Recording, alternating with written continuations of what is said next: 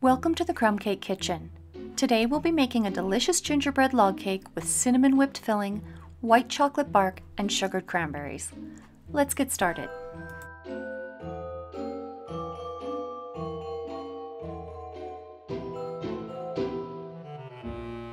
In a small bowl, beat three egg yolks on high speed until they begin to thicken. This should take about three or four minutes.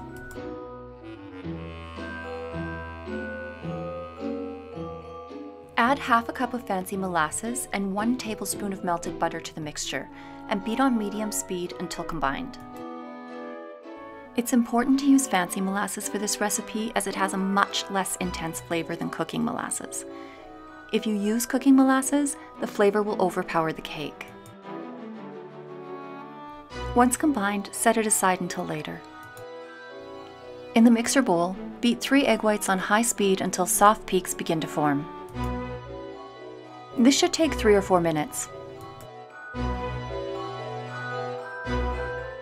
Combine one cup of all-purpose flour, one half teaspoon of cinnamon, one half teaspoon of cloves, one half teaspoon of ginger, a quarter teaspoon of baking soda, and a quarter teaspoon of salt. Now give it a good stir. Now that the egg whites have formed soft peaks, add 1 quarter cup of white sugar gradually and beat on high speed until the sugar is dissolved and soft glossy peaks have formed.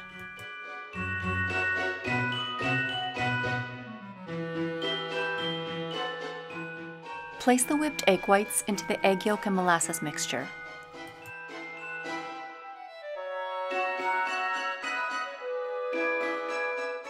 Now gently fold the flour mixture in as well. Mix until fully incorporated, but be careful not to deflate your batter.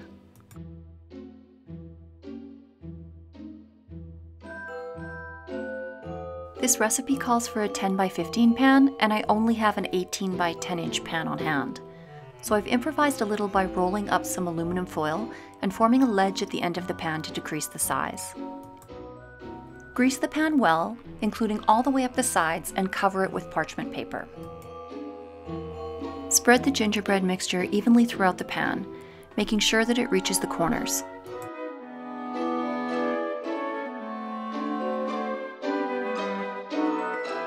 Bake in a 350 degree oven for 10 to 12 minutes. The cake is done when it springs back when you touch it gently with your finger. While the cake is baking, grab a clean dish towel and a cooling rack or baking tray. You'll need this to flip the cake over while it's hot. I like to give mine a light tap on the counter before placing it in the oven to get rid of any excess air bubbles.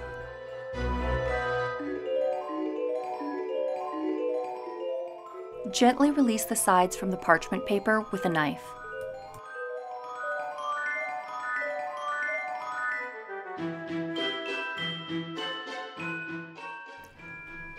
Sprinkle a generous layer of icing sugar on the entire surface of the cake.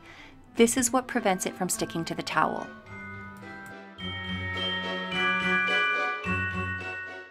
Now cover with a clean dish towel, followed by a baking tray or cooling rack. Carefully lift the pan over, but remember that it's hot.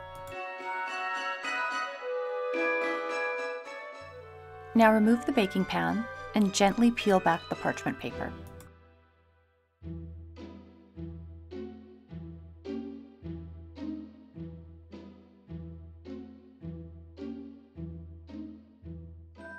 Cover this side of the cake with icing sugar as well. Now flip the tea towel over the cake and gently begin to roll the cake up from the short side.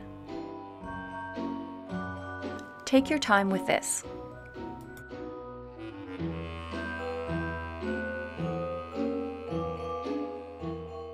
Rolling the cake up while it's hot will help it to retain its shape and it will be less likely to crack.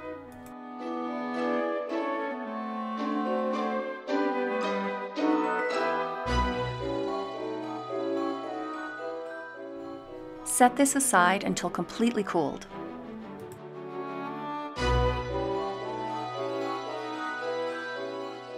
Now let's make the white chocolate shards. Melt the white chocolate in 30 second intervals on medium heat until fully melted. I'm using Merckens white chocolate molding wafers. They're so easy to work with and there's no need to temper them. Line a baking sheet with parchment paper. Now pour the melted white chocolate out onto the parchment paper. Using a palette knife, spread a thin even layer throughout the tray. Make sure your chocolate layer is thin. It'll look best when it's finished. If you melt too much, just pour the remainder into a baggie and use it for another recipe. That way there's no waste.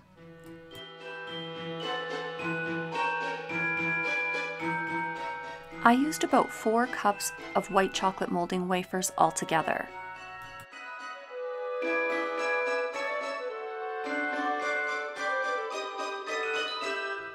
Take another piece of parchment paper and lay it on top of the melted chocolate.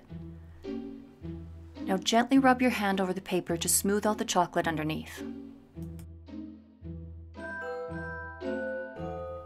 Carefully roll up the parchment paper and place it in the fridge for about one hour to set. You only need about two of these white chocolate rolls to cover the cake, so I could have got away with about two and a half cups of white chocolate molding wafers.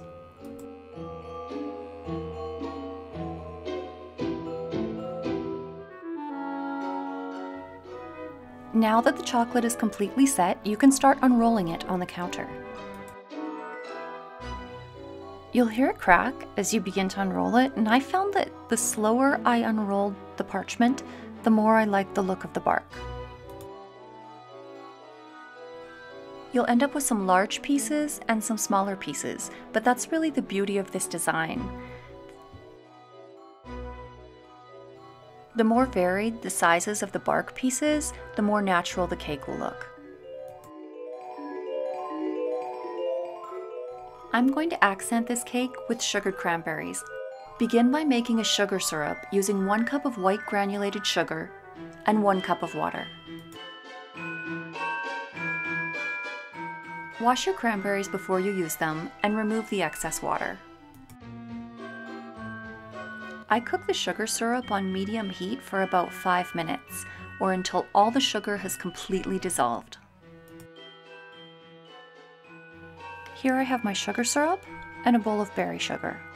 Berry sugar is just white granulated sugar, but in finer granules.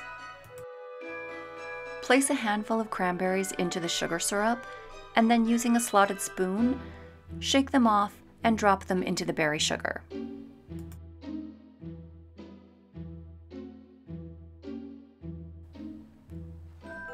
Cranberries a gentle toss in the berry sugar until they're evenly covered, and then set them out onto a cooling rack to dry. It takes about an hour or so for them to fully dry, but they look beautiful and they taste great. Repeat this process until you have as many cranberries as you need. Now let's make the cinnamon whipped cream filling. Whip 2 cups of heavy cream, 33 or 35%, on medium speed until soft peaks form.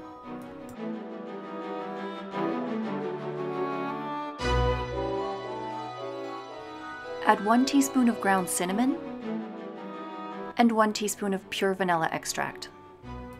Now add a quarter cup of icing sugar. You can add a little more if you like, but I don't like mine very sweet. Now continue whipping it on high speed until you reach the stiff peak stage.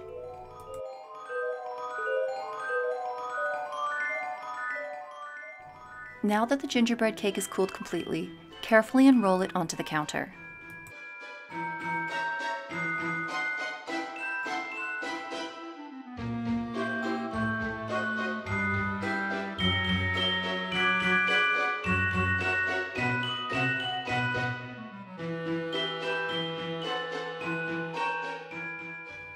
I can see I went a little overboard with the icing sugar on the cake, but it's no big deal. Just swish the extra away.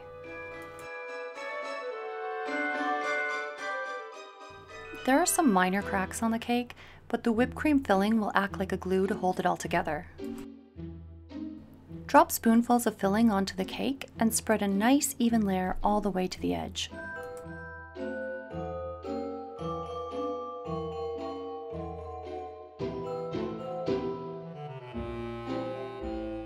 Just like when you're icing a cake, keep a good layer of filling between your palette knife and the cake to avoid stirring up any of those unsightly crumbs. You should be able to use up all of the filling for this cake. Now carefully begin rolling the cake back up, starting with the inside edge. Always finish with the cake seam side down on the counter.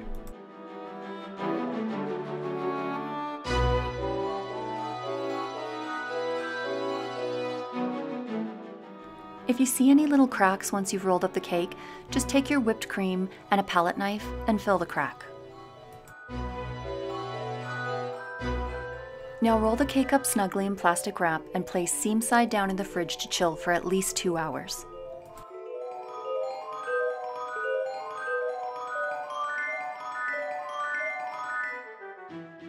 Once your cake is well chilled, you're ready to frost. Carefully trim a little off each end to expose the beautiful roll underneath.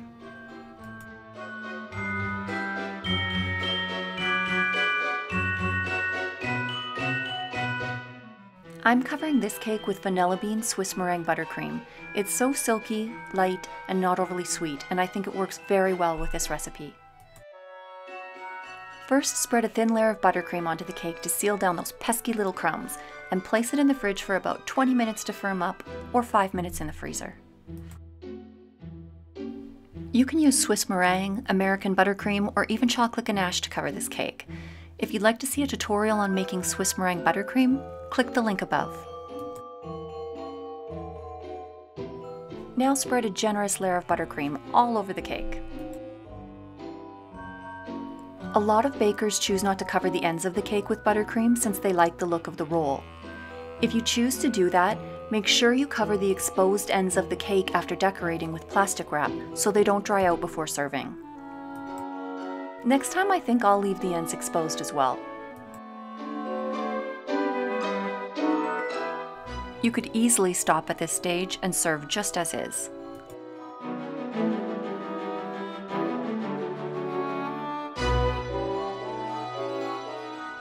Now it's time to add the bark pieces, and my suggestion is don't overthink it. I started at the top middle of the cake and slightly overlapped each piece on the top edge to get a nice textured look.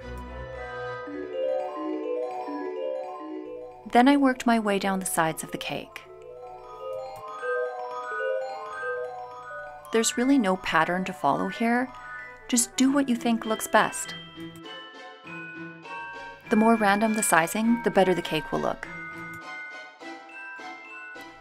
I do like overlapping the bottom edge of each row with the next piece.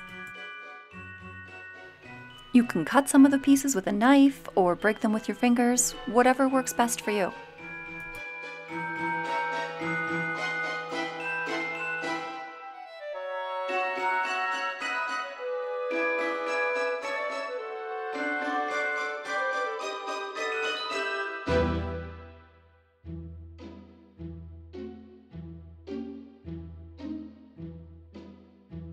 I've washed and dried some spruce and wrapped the ends in floral tape. Now I'll just push the sprigs into the ends of the cake. No Christmas Yule log is complete without a little greenery to accent those sugared cranberries.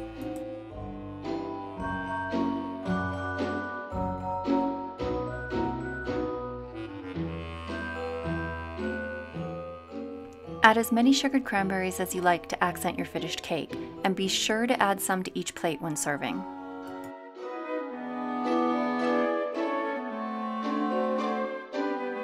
I love how festive this cake is, and it's a lot simpler than it looks, but you don't need to tell your friends and family that. If you'd like to see more in-depth tutorials like this one, please like and subscribe.